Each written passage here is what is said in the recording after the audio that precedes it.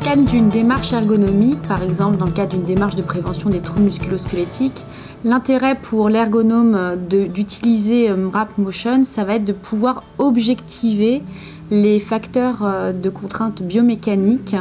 pour finalement, à un moment donné, mettre en débat au sein de l'entreprise euh, ce qui va être le plus sollicitant. Par exemple, lors euh, d'une analyse de l'activité, grâce aux enregistrements Marap Motion, on va pouvoir objectiver quelles sont les contraintes, les postures, les gestes répétitifs de manière visuelle. Alors grâce à, par exemple, euh, une analyse globale, ou alors, au contraire, à des analyses plus détaillées, type chronique d'activité. On va également pouvoir à un moment donné s'en servir comme d'outil d'aide à la décision parce que forcément au sein de l'entreprise, on va rechercher quelles sont les phases du travail qui vont être les plus sollicitantes pour pouvoir trouver des pistes de conception, des pistes d'amélioration.